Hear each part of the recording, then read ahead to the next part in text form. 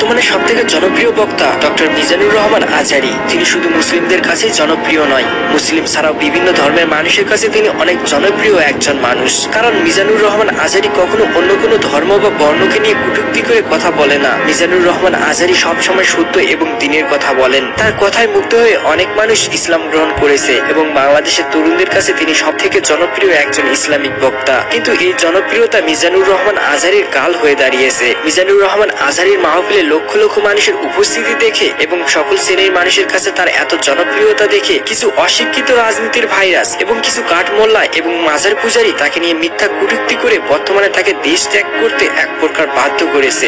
Doctor Mizanur Rahman Azhari সম্পর্কে কিছু কথা বলার আগে চলুন জেনে আসি, তার সম্পর্কে কিছু অজানা তথ্য, তার লাইফ স্টাইল পরিবার, স্ত্রী, সন্তান এবং মাসিক ইনকাম সম্পর্কে। কথা দিচ্ছি, ভিডিওটি শেষ পর্যন্ত দেখলে মিজানুর রহমান আজারি সম্পর্কে আপনার শ্রদ্ধাবোধ অনেক গুণ বেড়ে যাবে। যদি তা না হয়, তাহলে ভিডিওটিতে একটি ডিসলাইক দিয়ে চলে যাবেন।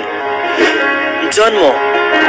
মিজানুর রহমান আজারি উনিশশো নব্বই সালের ছাব্বিশে জানুয়ারি ঢাকার ড্যামরায় জন্মগ্রহণ করেছেন। মিজানুর রহমান আজারির দেশের বাড়ি কুমিল্লার মুরাদনগরের পরমতলা গ্রামে। তার বাবা একজন মাদ্রাসা শিক্ষক এবং মা একজন গৃহিণী। তার পরিবারে স্ত্রী সন্তান ছাড়াও তার এক ভাই রয়েছে। মিজানুর রহমান আজারির বাবা বলেন, মিজানুর রহমান ছোট থেকেই অত্যন্ত সৎ, মিষ্টিভাষী, নরম স্বভাবের এবং অত্যন্ত মেধাবী ছিলেন।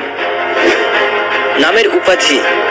তার নাম ছিল শুধুমাত্র মিজানুর রহমান। কিন্তু তিনি মিশরের আল আজহার বিশ্ববিদ্যালয়ে পড়াশোনা করার কারণে তার নামের শেষে আজহারি উপাধি যুক্ত হয়েছে এবং সে পিএইচডি করার কারণে তার নামের প্রথমে ডক্টরেট যোগ হয়েছে। সব মিলিয়ে বর্তমানে তার নাম মৌলানা ডক্টর মিজানুর রহমান আজহারি।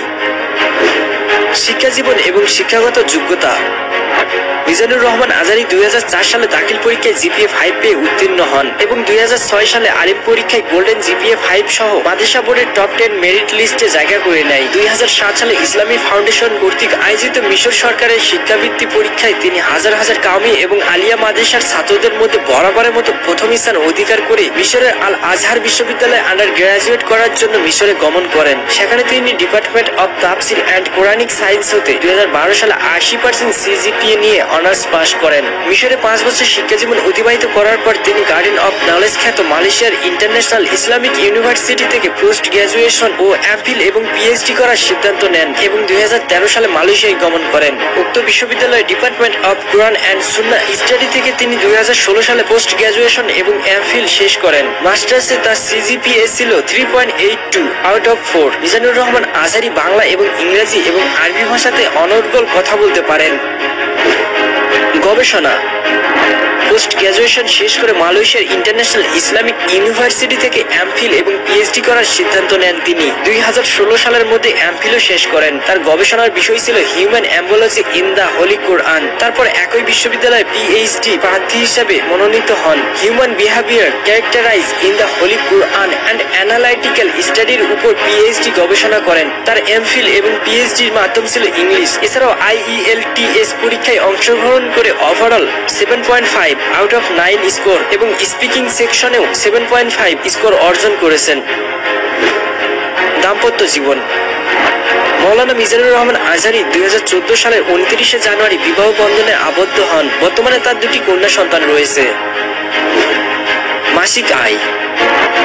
মিজানুর রহমান আজারির মাসিক আয় সম্পর্কে সুনির্দিষ্ট কোনো তথ্য পাওয়া যায়নি। তবে তিনি অন্যান্য বক্তাদের মতো তাফসির মাহফিলে চুক্তিবদ্ধ হন না। কিন্তু মাহফিলের হাদিয়া হিসেবে তাকে যা দেওয়া হয় তিনি তাই গ্রহণ করেন। যদিও তিনি তার জনপ্রিয়তা অনুযায়ী লক্ষ লক্ষ টাকা দাবি করতে পারতেন, কিন্তু তিনি সেটা করেন না। তার মাহফিল থেকে যে টাকা রোজগার করেন, তার বেশিরভাগ টাকায় তিনি ইসলাম প্রচার এবং মাদ্রাসায় দান করেন। তাহলে আপনারা বুঝতেই পারতেছেন, তিনি কত বড় মনের এবং কত মহৎ একজন মানুষ।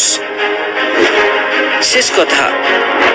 বাংলাদেশের ইতিহাসে মিজানুর রহমান আজারি এমন একজন বক্তা যে মাত্র এক বছরে প্রায় পনেরো হাজার মাহফিলে ওয়াজ করার দাওয়াত পেয়েছেন। এত জনপ্রিয়তা এই বাংলার জমিনে দেলোয়ার হোসেন সাইদি ছাড়া অন্য কোনো বক্তা অর্জন করতে পারেনি। যদিও এখানে দেলোয়ার হোসেন সাইদির কথা চলে এলো, তখন তাকে নিয়েও দুটি কথা বলতে চাই। বর্তমানে দেলোয়ার হোসেন সাইদি যুদ্ধ অপরাধের দায়ে জেলে বন্দী আছেন, যেটা আমরা সবাই জানি। কিন্তু তিনি যদি সত্যি যুদ্ধ অপরাধী হয়ে থাকেন, তাহলে আমরাও চাই তার সঠিক বিচার হোক। কিন্তু যদি তাকে মিথ্যা মামলায় ফাঁসিয়ে সাজা দেওয়া হয়, তাহলে আল্লাহ যেন তাদেরকে এই দুনিয়াতে এবং আখিরাতে উত্তম শাস্তি প্রদান করেন। একটা কথা মাথায় রাখবেন, আল্লাহ হলো সঠিক বিচারকারী এবং পাপ নিজের পাপকেও সারে না। মিজানুর রহমান আজারি এত শিক্ষিত এবং ইসলাম নিয়ে এত গবেষণা করার পরেও তার ইসলামিক কথায় ভুল ধরে আমাদের সমাজের কিছু তেতুল হুজুর এবং রাজনীতির ভাইরাস। আসলে তারা সবাই মিজানুর রহমান আজারির জনপ্রিয়তাকে অনেক ভয় পায়। তার এত জনপ্রিয়তা দেখে তাদের চোখে সহ্য হয় না। আমি সেই সকল ভাইরাসদের বলতে চাই, যদি আপনারা মিজানুর রহমান আজারির ভুল ধরতে চান, তাহলে আগে তার থেকে বেশি শিক্ষা অর্জন করুন। তারপরে তার ভুল ধরতে আসবেন।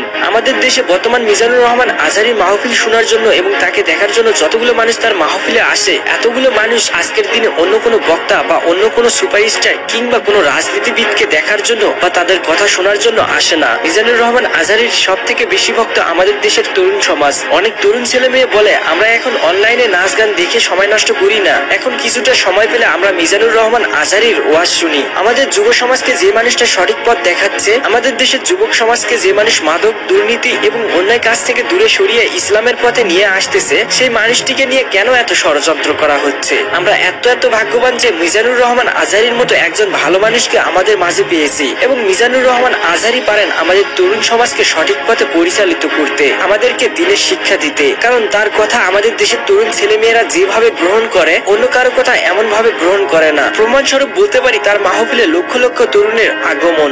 কিন্তু মিজানুর রহমান আজারির মতো এত শিক্ষিত এবং ভালো মানুষকে আমাদের মাঝে থাকতে দিল না। আমাদের সমাজের কিছু ভাইরাস। মিজানুর রহমান আজারি দেশ ছেড়ে চলে যাওয়ার আগে তার অফিসিয়াল ফেসবুকে কষ্ট ভরা মন নিয়ে যা লিখেছেন। আমি কোনো দলের এজেন্ট বা প্রোডাক্ট নই, আর কোনো রাজনৈতিক দলের অধ্যয়নে আমার শিক্ষা জীবনও কাটেনি। মিথ্যাচার যেন এদেশের মহামারীতে রূপ নিয়েছে, আর সেটা যখন প্রকাশ্যে গণমাধ্যমে দেশের কোনো উচ্চ পদস্থ দায়িত্বশীলের মুখ থেকে প্রকাশ পায়, তখন আফসোস আর হেদায়তের দোয়া ছাড়া আর কিছুই করার থাকে না। নিজের চিন্তা আর মতের বিরুদ্ধে গেলেই এদেশের একটা সস্তা ট্যাগ লাগিয়ে দেওয়া হয়, আর সেটা হলো জামাত শিবির।